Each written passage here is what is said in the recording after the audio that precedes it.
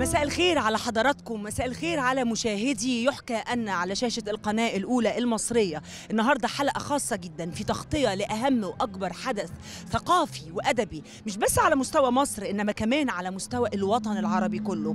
معرض القاهرة الدولي للكتاب في دورته ال 54 الحفل اللي موجود العيد الثقافي اللي إحنا موجودين فيه دلوقتي هو الحقيقة نجاح غير مسبوق. خليني أقول لحضراتكم إن إحنا هيكون معانا حلقات خاصة جدا. في يحكى أن في تغطية خاصة كمان لمعرض القاهرة الدولي للكتاب. هنشوف فيها كل الكتاب اللي بتحبوهم. هنشوف فيها كل الإصدارات اللي حضراتكم مهتمين بيها. هنشوف فيها مجهود جبار مجهود كبير جدا مجهود مبذول.